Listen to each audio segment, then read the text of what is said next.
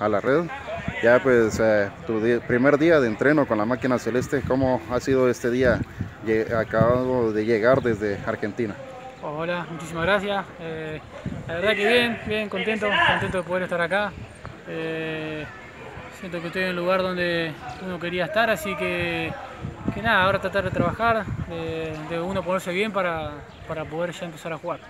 ¿Primera vez que juegas acá en, en Guatemala, Lucas?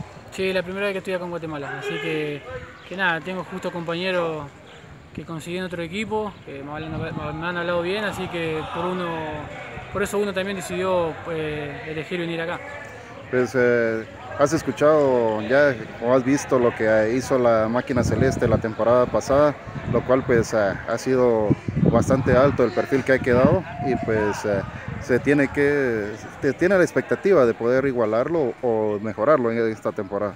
Sí, sí, eh, vi, pues como dije, tuve compañeros que donde he jugado antes y lo he seguido, me han contado, así que nada, eh, creo que después uno siempre tiene que tratar de, mejorar lo que, lo que hizo, así que que nada, esperemos poder estar de la mejor manera y tratar de superar por ahí lo que se hizo el torneo pasado.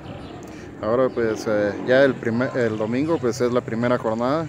Eh, ¿Cómo estaría Lucas Acosta para ya pues incorporarse a este nuevo reto con la máquina celeste? No, no está bien, está tranquilo, contento. Eh, hay que ver primero hay decide el profe y bueno, después del lugar que decide para el que esté uno, tratar de apoyar y dar lo mejor para, para bien del grupo.